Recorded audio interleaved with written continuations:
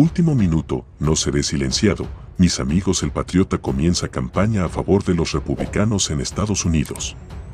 El expresidente está apoyando a varios candidatos para las elecciones legislativas que se llevarán a cabo en noviembre.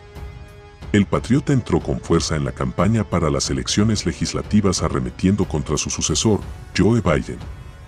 Amigos, el enemigo del Estado es él y el grupo que lo controla, dijo en un mitin en Pensilvania, estado al que acudió para apoyar la candidatura de Mehmetos al Senado en los comicios del 8 de noviembre y la de Doug Mastriano a gobernador y donde subrayó que los republicanos volverán a hacer Estados Unidos grande de nuevo. Su baño de masas tuvo lugar en un pabellón de Wilkes-Barre y estuvo centrado tanto en responder al actual inquilino de la Casa Blanca, que el jueves lo consideró un peligro para la democracia, como en defender al movimiento MAGA, acrónimo de Make America Great Again, que fue su eslogan de campaña y de su presidencia.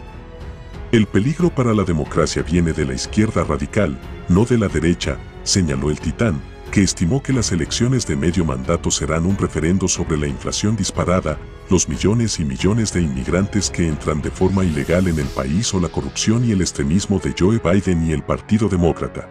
Los demócratas están inmersos en un intento desesperado por evitar que vuelva a la Casa Blanca, donde saben que limpiaré este desastre de nuevo. Quieren impedir que completemos nuestra misión de recuperar los valores estadounidenses, recalcó. El titán subrayó que esa batalla en su contra no podrá con él volveremos a hacer que Estados Unidos sea grande de nuevo. Nunca les daré la espalda y ustedes nunca me la darán porque amamos nuestro país y salvaremos nuestra nación de la gente que está intentando destruirla. Y solo me queda por decirles, Dios bendiga a los Estados Unidos de América.